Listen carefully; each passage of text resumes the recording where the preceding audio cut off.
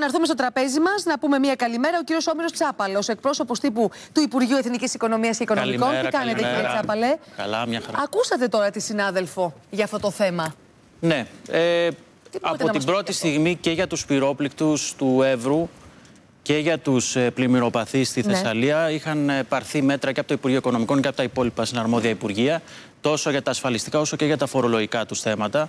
Αναστολές πληρωμών, ε, κατα- αναστολή ε, για την πληρωμή του έμφυα για τα επόμενα δύο τουλάχιστον χρόνια, ε, άρση- ε, κα- ε, αναστολή πληστηριασμών επίσης, ε, τα οποία ισχύουν μέχρι και σήμερα.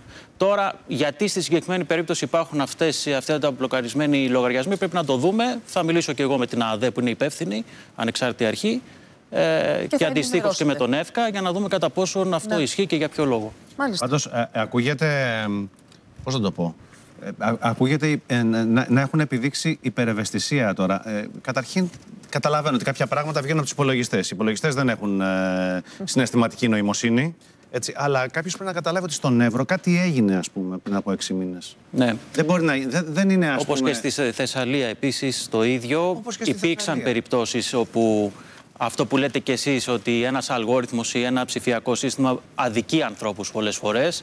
Ε, γι' αυτό λοιπόν υπάρχουν και οι άνθρωποι και οι υπηρεσιακοί ε, και σωστοί δημόσιοι υπάλληλοι προκειμένου να εντοπίζουν αυτές τις αριθμίες και να τις αντιμετωπίσουν το συντομότερο δυνατό. Πριν πάμε σε αυτά τα οποία έχουμε πει ότι θα παρουσιάσουμε, αληθεύει το σημερινό πρωτοσέλιδο της Δημοκρατίας που λέει ότι το 0,2% των συνολικών οφειλετών, δηλαδή το 0,2 όσων χρωστούν στο δημόσιο, χρωστάει το 76,9% του συνολικού ληξιπρόθεσμου υπολείπου της χώρας.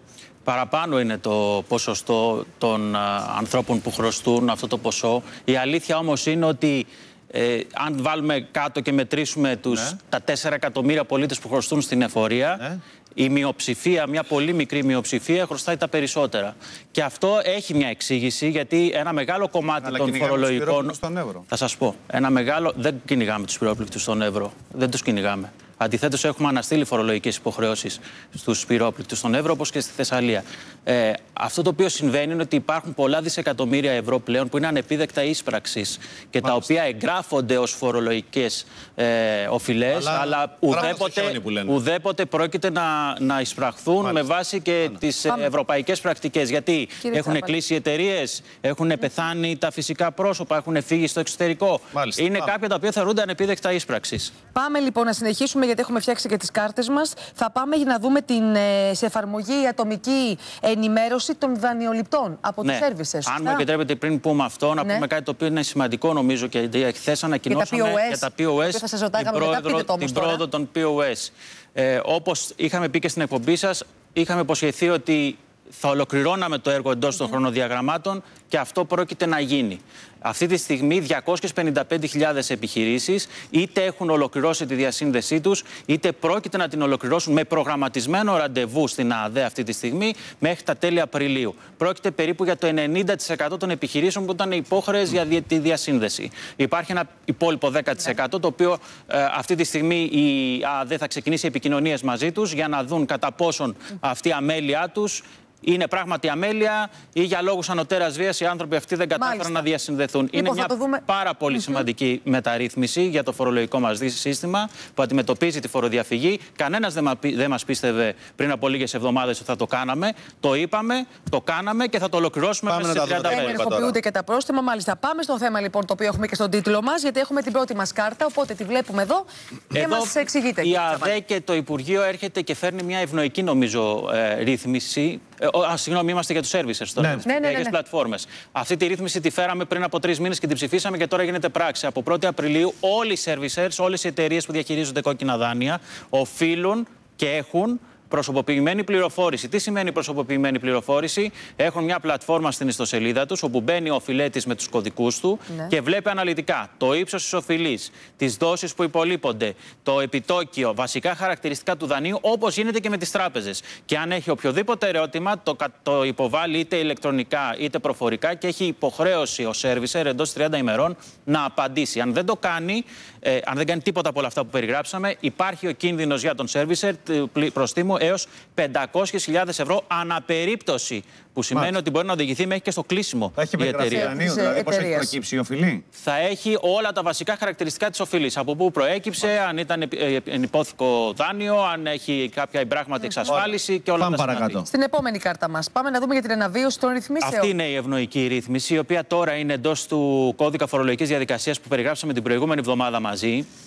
Ουσιαστικά μιλάμε για δύο διαφορετικές ρυθμίσεις. Η μία έχει να κάνει με οφειλέτες οι οποίοι χάσαν για οποιονδήποτε λόγο τη ρύθμισή τους τα τελευταία χρόνια. 24, ε, 48, 72, 100, 120 δόσεις.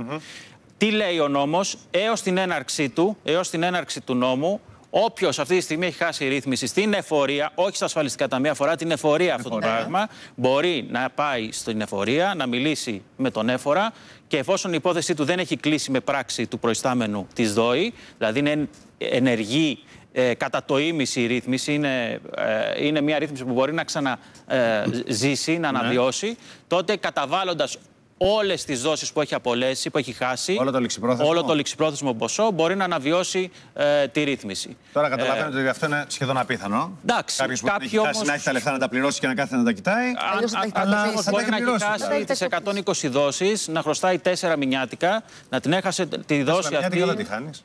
Τι χάνεις, από τα τρία και πάνω τι χάνεις.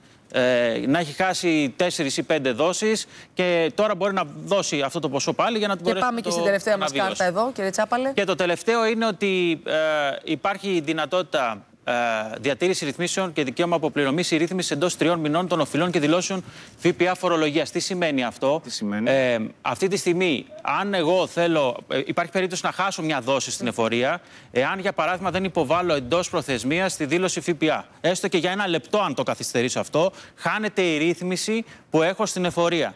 Ε, είναι μια αυστηρή πρόβλεψη του νόμου. Τώρα έρχεται η ΑΑΔΕ και τι λέει, δίνω περιθώριο στον φορολογούμενο έως τρεις μήνες.